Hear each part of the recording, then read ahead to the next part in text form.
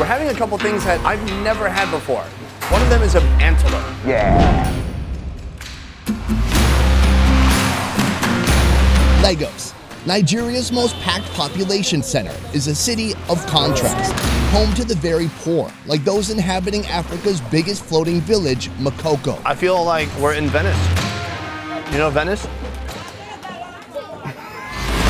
But nearby, Victoria Island is home to some of Nigeria's over 29,000 millionaires. What kind of food are you guys serving here? So we're authentic Nigerian with a modern twist. 95% of the ingredients we use are locally sourced, and then we only bring in things like truffle, you know, foie gras, things like that. Obviously not available here in the market. Today, as we wrap up our Nigeria series, I want to see and experience the classics, food that Nigerian folks eat every day, from the mainstream and affordable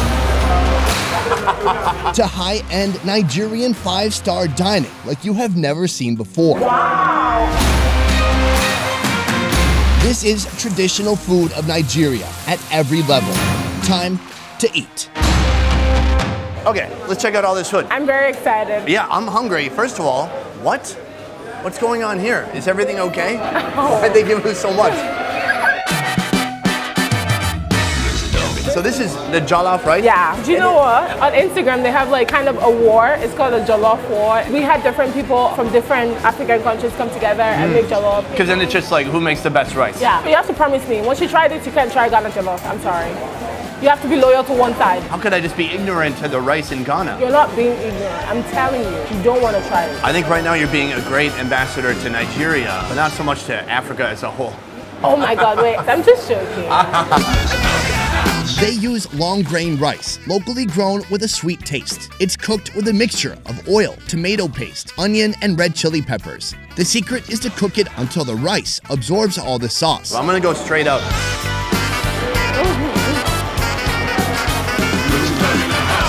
Like, how could you want to try anything else? Spicy, but it's got a very smoky flavor to it. Is that a plantain?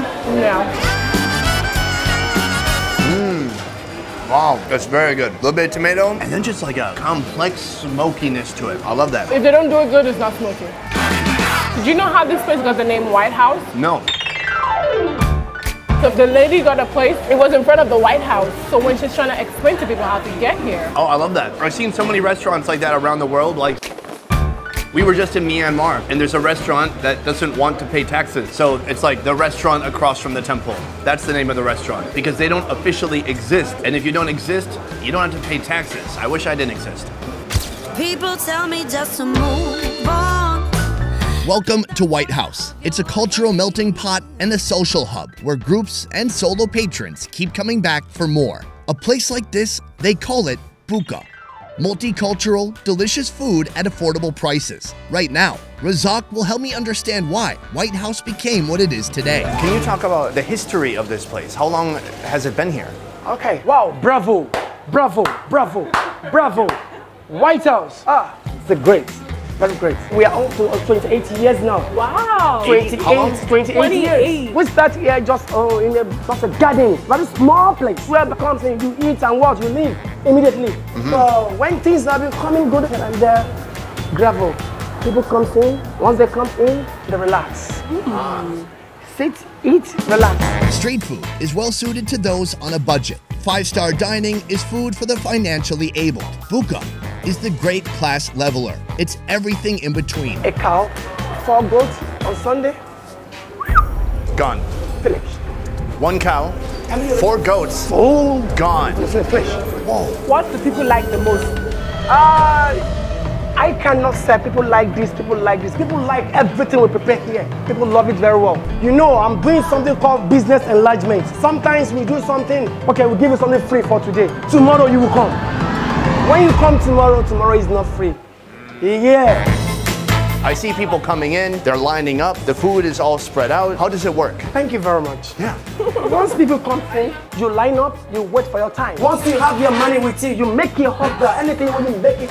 So free for yourself. That sounds great. Yeah. Yeah. I'm gonna do that pretty soon. Free yourself, free, free. Free. Free. Wait, feel free? Ah, but but the price is also free? No. Oh no, that would be a bad business practice. Our next dish, pounded yam. It's exactly what it sounds like. Boiled, then beaten with an elegant, synchronized brutality. The pounded yam, we pound by ourselves. The resulting consistency is outstanding. The more time you spend pounding, the better the food is. So it's like emphasizing on how good their food is. But the flavor is pretty plain by itself. Folks usually eat it with other food friends, like egusi, a thickened soup made with cow parts, melon seeds, and other vegetables. Quick question. Why is this soup solid? It has vegetables in it. Soup to me is a little more uh, soupy. I know, you know what? When I first went outside of Nigeria, I thought they would say soup and I would see like liquid. I'm like, what is the actual soup? Oh, I like that. I like the hand feel. I feel like I can taste it with my fingertips before it even gets to my mouth. Boom. Oh, that's really good. Also spicy, Yeah. but well seasoned, but it's like a solid puree of a few different ingredients almost. Cow skin. This could have been one of your Chanel purses, but instead we're gonna eat it. Yeah, so much better. The taste, it's super gummy, also smoky. No, this is my favorite part. Oh, really? Mm-hmm. Everything's red. Everything is the color of heartburn and anger Ooh, it's orange, the color of the sun and light. Mmm. And life. Yeah, and blood. Are you colorblind? Buka is not hard to find in Nigeria, but White House's commitment to consistency and quality has made it stand out for years. From a classic icon, we're headed to the new kid on the block. Boom, sir. You're Thank you so welcome, much. Tia, for you. Without years of reputation to lean on, how does a new restaurateur lure in and keep customers in Lagos? First of all, I gotta say, these are some of the hardest women I've ever seen in my Thanks life. so much. This is like 45, 50 degrees. Opened just over a year ago, the Yakoyo Abula joint quickly became one of the most popular buka spots in town. They also have a unique casino-style operating method using tokens. You buy your chips. Yeah, And you spend your chips. We'll figure out the best method we can use. So once you're done and you're still left with our chips, you go back there to collect back your Nigerian currency, In your restaurant, only one person ever touches the money. which is the cashier. As someone who eats at a lot of restaurants, what are the things you like to see when you go to a restaurant? Um, I think the rich and the poor can dine together and eat as one. Not that I'll go into a restaurant I can't be able to afford it. Giving them the best, giving them the good food, giving them the cheap food. What is your best-selling item? Amala, which is being sold out already. We do it every five, five minutes. Amala, similar to pounded yam, but with different ingredients, using black yam flour. Mix it with hot water until it becomes sticky and brownish. This is what everyone comes for. Yeah, it smells amazing, and it's so much effort and work that goes into it. Is that all over Lagos? Yeah, people love it. Serve it with a dish called ewedu, made of palm oil, onion, tomato, red chili peppers, and finally, goat meat. What is going on with these portions? This, I, 600 and get like a giant meal. That's why it's really popular because the food is affordable and it's really good. Do you think, are people in Nigeria or people in Lagos, are they eating a meal like this three times a day? Possibly, yeah. In my house, we eat a meal like this every night. Should we try eating this? Yes, we should. All right. Oh. Oh. oh, it's good. Let me try it. wow, I'm actually blown away. Do you know, I've never tried their amala, but I completely, wow. That's tasty. On top of that, he's got soup and stuff. All of it together tastes amazing. It's delicious. It's so good. It's kind of like a thick soup with mashed potato kind of texture, but even softer than the mashed potato. And then the flavor itself, super spicy and savory in a way that just feels like comforting. Like it warms you up from the inside. Yeah. Um, also, what's this? He says it's a lap. He said lamb. Yeah, A lamb like what a lap. Lap. Lap? Thighs. Oh, you're saying lap. Yeah, like a laptop. Okay.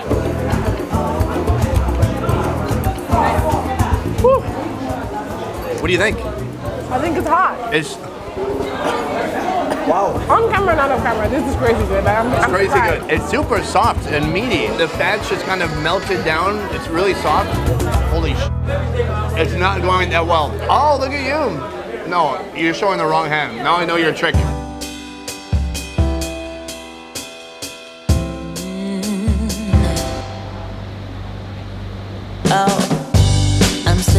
Hello. Hello. First of all, thank you for thinking I have enough hair to warrant a hairnet. Yeah. Do I need to really wear this? You'll be alright. Ile Eros. Yes. You are Eros. I am Eros. This is House of Eros. Correct. Meet Tolu Erogbogbo, also known as Chef Eros, named after the Greek god of love. He's the man who knows what billionaires eat for lunch. He went to London to study international business management. That's where he found his life's passion and obsession food. How'd you learn to cook? Cooking for me is a gift. Some people can sing, some people can act. I can cook. I can think something in my head and put it together on a plate and it comes out just as I thought. After spending years learning from other chefs and even cooking for the likes of France's president, Eros moved back to Lagos and opened one of the first chef-owned gourmet Nigerian restaurants, serving traditional food with a culinary twist. Which is more useful for a restaurant entrepreneur? Like study cooking and then try to start a business or Study business and try and figure out the Yeah. cooking as you go.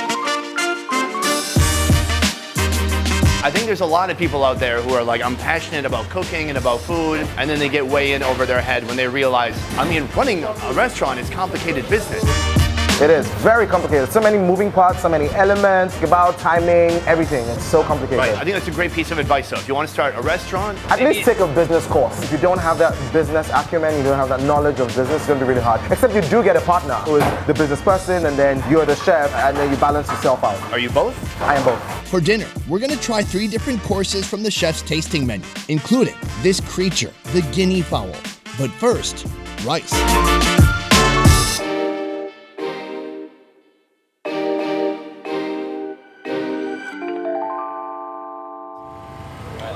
One, two.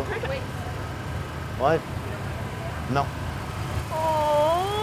What? You're acting like my dog died.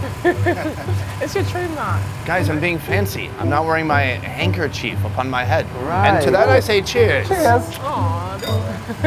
Let me introduce you to my friend Miss World Africa.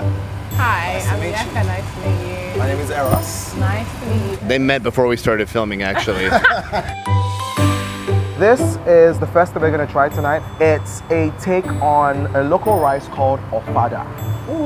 Ofada is like the local wild rice, very perfumed flavor. Some people like it, some people don't. But what we've done with this is we've tossed it in a coconut corn cream and we've also added some corn into that.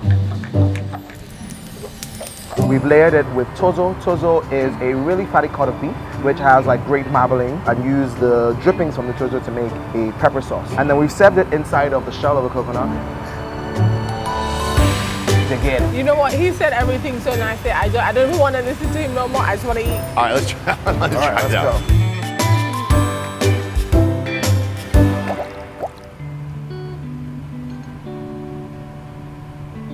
That's fantastic. Um, kind of like a. Um, You know, I think I'm crying. You're gonna cry? That's how good I'm. I'm You're not crying? joking. Yeah, I am. I think we could do another viral moment right now. Yeah. Oh, that's fantastic. When you moved out and then came back after so long, what did you see about your country that you hadn't realized before? I started to appreciate our food even more because I missed Nigerian food. I missed the complexity of the flavor, missed the depth of a lot of the things that we cook. I also missed the spiciness of a lot of our food. But then I saw a lot of growth in the space that I was away. Lagos in particular had grown tremendously in terms of the amount of people who had moved in and the number of new places that had opened. And I sort of wanted to join that movement is why I decided to start the restaurant, going down the restaurant route. I feel like we really value each other's presence. I mean, sometimes people say that we don't really value our own products, but one thing I know for sure is when I came back here, the kind of reception that I got here is different from anywhere else in the world. It might be louder somewhere else, but the way I feel inside is so much. It just feels heart. like yeah, yes. Yeah, there's And usually so just special. one place that can really make you feel that Yes. way. Course 2 Masa, a rice cake fried in butter with suya pepper on top, paired with something I've seen in Nigeria but never tried before antelope. All we do is toss it in butter, rosemary, and garlic. And that's it. We serve the antelope with a antelope reduction and chocolate. So it's chocolate Oh. antelope reduction. Nice. So in my head, right, when an, an antelope is killed, it's usually like hung to dry out. So this is basically like my interpretation of a hanging antelope on a tree. And oh, Cry oh, Are you okay? What's happening? Am I you're the only one? It's just. You need to get the antelope off the tree. Like that. Coat that in the chocolate. Okay. We take a bite.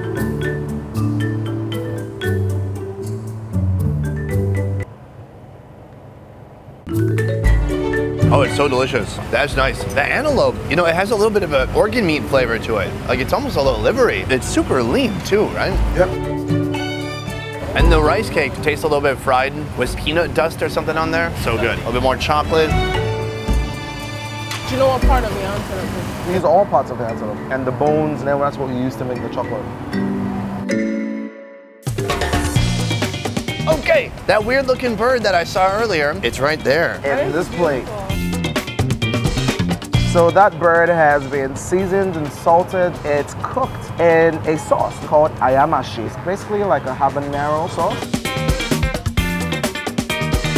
Served with a pounded yam puree, oh. finished up with that sauce, the ayamase. And that is the rest of the guinea fowl that put into a meat grinder. It's basically formed into a croquette. Enjoy, it's really spicy too. Oh, fantastic. We had some right. pounded yam earlier. They gave us like two kgs of it in a bowl. Yeah, And they were like, eat, you animals. I like to have this with a fork and spoon. A fucking spoon. Is that what you said? fork and spoon. So I use the spoon. That is how you pound a yam. Super smooth. That's the first thing I noticed. And then, oh, a strong peppery flavor. And that meat, it's not that much fat on it either, I would say, right? Yep. But it's not dry or anything. It still like breaks apart and then blends so nicely with the other ingredients here. Is there a reason, I guess because it's a tasting menu, is that why it's kind of small? yeah, it's a tasting menu. You're supposed to go through seven courses and be able to get to the end. Right, and the ball. You have a gift, my friend. That's outstanding. How do I describe it? It's just good. Guys, just come here and you eat it and figure it out. Describe it to yourself. And what do you think? I think that this is the only place I want to eat for the rest of my life. It's a whole experience.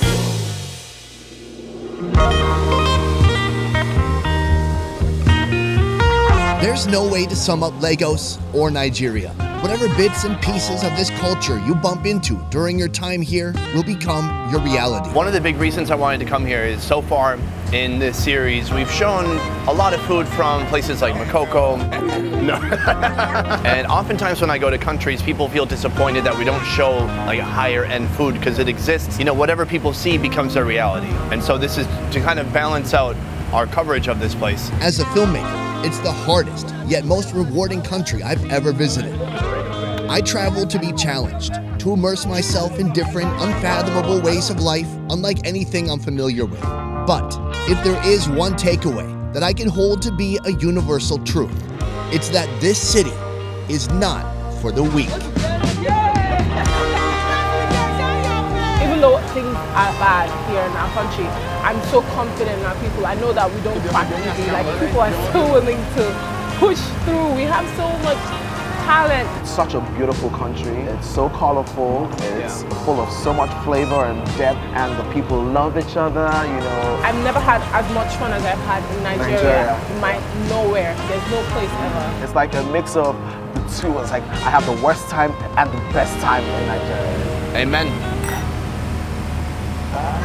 Hey guys, how's it going with that quarantine? More like quarantine, am I right? Mm. If you're anything like me, you're probably stuffing yourself twice a day. Listen, we're gonna get through this. I'm not talking about the apocalypse, I don't know anything about that. I'm talking about this constant stomach stretching that we keep doing, but if we move forward, if we persevere, at the end of the day, we can call ourselves food coma survivors. Buy the shirt.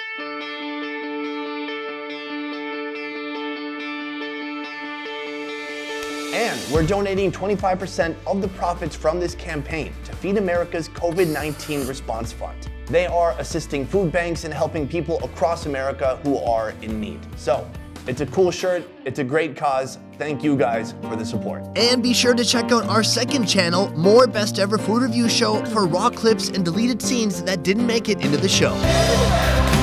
Guys, thank you so much to my wonderful host, Nyekachi. Uh, I'd like to shake you. This is definitely the most beautiful couple of days of this year and I've learned so much about my country, myself, and I'm actually quite hurt that it's ending. And I loved waking up every time in the morning to get where we need to be. I'm so grateful. Thank you so much. This is a blessing for me and it's a lesson that I will take for the rest of my life. Thank you. Thanks so much for watching. Oh, we'll see you next time. Goodbye. Oh, peace.